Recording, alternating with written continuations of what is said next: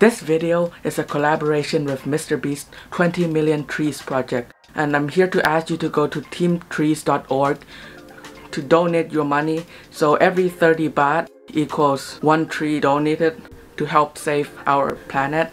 Or if you're like me and you don't have any credit cards, you can still contribute to saving your planet by either planting a tree yourself or taking care of your environment.